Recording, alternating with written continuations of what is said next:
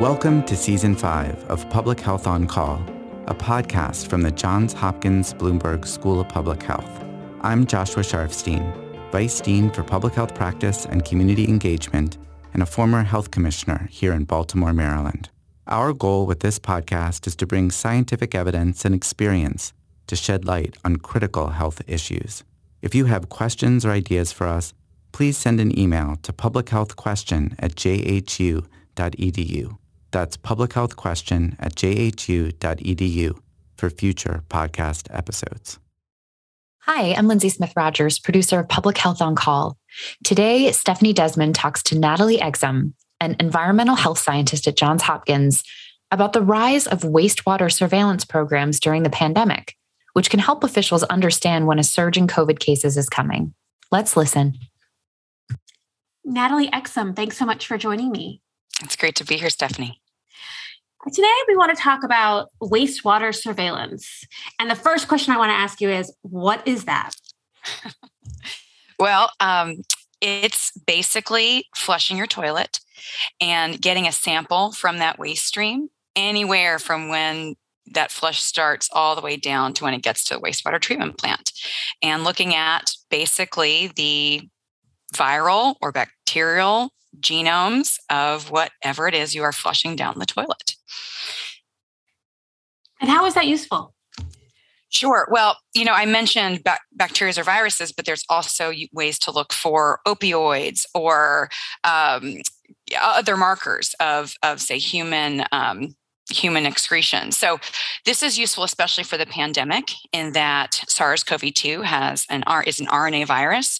So we are able to basically track at a community level infections and do that in a population-based way. It's a naturally pooled sample with one uh, sample of water or sludge from your treatment plant, you can get a look at your whole community. And where um, individual clinical testing, say with uh, you know a swab in your nose, could cost say $140 for one person, for $300 say for a sample, you could get a look at your whole community um, in one day. And with a quick turnaround, it can be extremely useful as a leading indicator of what's happening in your population. And so I say leading indicator because you don't have to really wait for people to go and seek their tests and have those tests be reported to the health department. You get that turnaround of a sample within could be within 24 hours, and uh, have a look at your community a week prior to getting a report from the health department. So, someone who's testing the wastewater could say, "Everybody, watch out! We could see uh, in cases coming up." Exactly. And it's actually being used that way right now. So tell me sort of practically how this is being done. So really it's it's as simple as you would think where you get a bottle and you can get a sample from a wastewater treatment plant and that needs to be brought and collected to an environmental lab and that sample needs to be concentrated because actually it's sometimes hard to find those viruses within a small little sample, so it's concentrated. And then you can get a readout of even the concentration of the virus. So when we get those um, big spikes in cases, you can see that big spike also correspond to the amount of virus uh, in the wastewater. How is that useful to health officials? Sure. Mostly it's been useful I would say, especially now, when we have a uh, decoupling of hospitalizations and cases from um, really what's going on in the population, right? We have these at home tests where, where, people are getting their antigen tests, seeing that they're positive, and that does not get reported to health departments. We have, you know, where vaccinations are really doing their job, hospitalizations are not corresponding with cases anymore. So these indicators that we used prior to understand what's happening in the community are not as um, clear. And so wastewater really is just this anonymous pooled sample that continues to be a, just a, another tool and another look at what's happening in the community. And so the way it really can be used is to introduce you know mitigation measures that may be needed for you know large indoor gatherings or just knowing where to maybe increase your testing sites and so it can give really practical actionable information to people who are trying to keep the population safe now this is obviously not something that we invented for covid how has this been used in the past Sure. Well, prior to COVID, it was used, say, to track polio. So, you know, polio may not be circulating in the population, but if you looked in the wastewater, you may be able to find polio in the wastewater. And so that was another way when for polio eradication. Honestly, before COVID, people wanted to use it for more pathogens, say norovirus or salmonella outbreaks, foodborne outbreaks, but we just didn't have the use case to really um, move that mountain. So it really this has been a real revolution i would say for uh, wastewater based epidemiology. And um, you know where the opi it was used for opioids prior in in some communities but really just the innovation in this field in the past two years has been remarkable. Talk us through that a little bit sure so when the pandemic began the environmental microbiologists that i know began to say hey this could be tracked in wastewater. And it was an experimental time, I would say, when we when when many um, people at wastewater treatment plants would begin to take samples and without getting too technical really understand how to extract the virus out of that because you think about what's in a sample from a wastewater treatment plant. There's a lot of different stuff going in there. So the methods had to be innovated and developed quite quickly.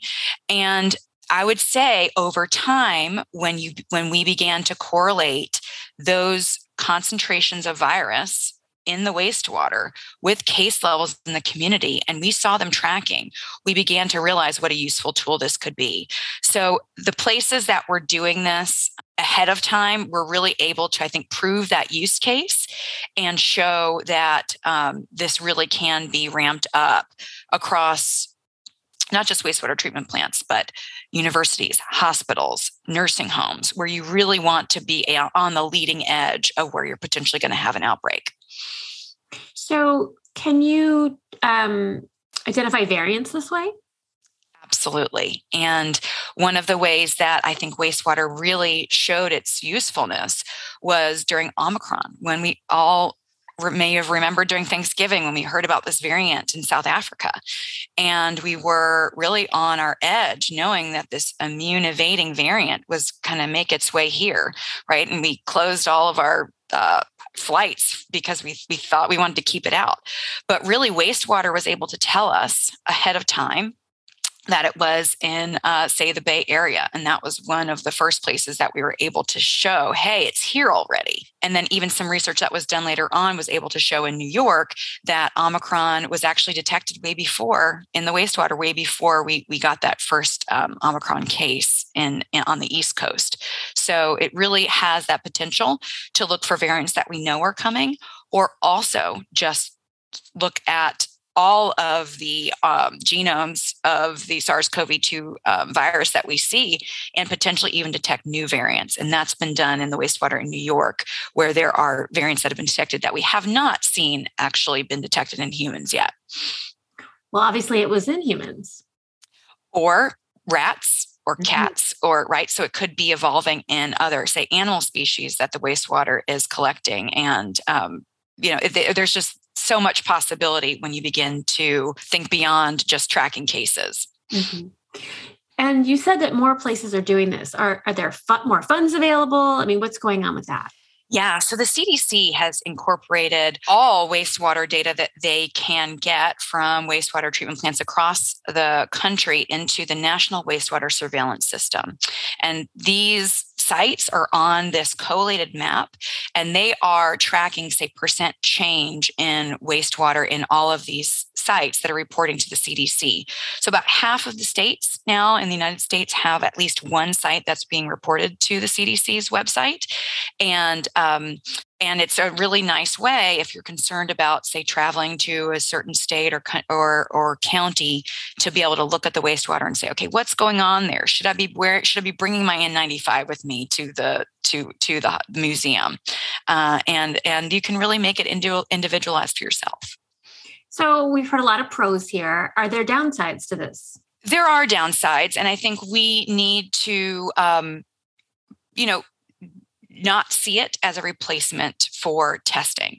It is it needs to be seen as one tool that health departments can use to get a clearer picture of what's happening in their population. At the end of the day, case data, individuals coming in with illness is the is you know the most accurate clinical representation of what's circulating in the population and you know there are it's not an exact one to one correlation, right? So you can't see an uptick in one point in your wastewater surveillance, you know, plant and say, okay, now the sky is falling. You have to kind of look at the trend over time and um, take it in the context of other disease surveillance systems going on. Mm-hmm. So, what is the future of this type of uh, research because here we have obviously a, a vast example of something that uh, we didn't really have in the toolbox before. So now we have this all over the place. Sure, sure. This has really provided a watershed moment, so to speak, for wastewater surveillance.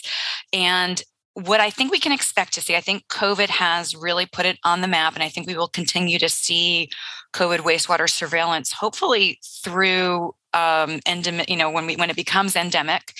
But also, we can see it. It's already been used for influenza virus, so we can. We've already seen outbreaks of influenza virus being detected through wastewater, RSV, which we know is is very dangerous for little babies. We can see when that virus starts to get its legs under it within a community.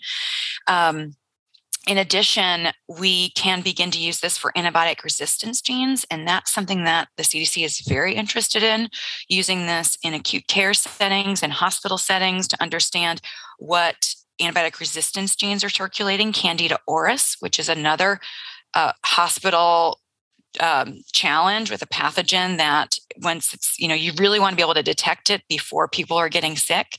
And so i think its future is not just for tracking the waves of covid but really thinking also at a building level if you're concerned about a vulnerable population what you want to look for there to make sure that your um, your your building level patients or population is safe so a hospital could just test its wastewater to see what's going on and maybe give it a heads up to be more cautious about certain pathogens. Exactly. That's a really exciting future for wastewater surveillance.